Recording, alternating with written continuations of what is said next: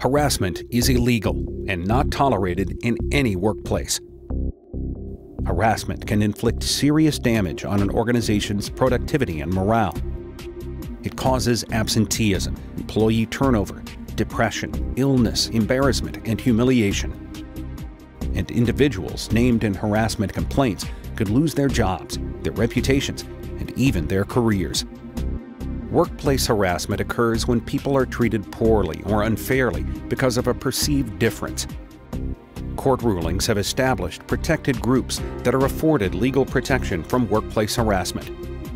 These groups are defined by race, color, and national origin, religion, either because of a person's faith or beliefs, or pressure to join or convert to a faith, disability, either mental or physical, family status, including marital status and pregnancy, gender, age for employees 40 and over, genetic information, and sexual orientation and gender identity. In addition, local laws and organizational policies prohibit the harassment of many other groups of employees.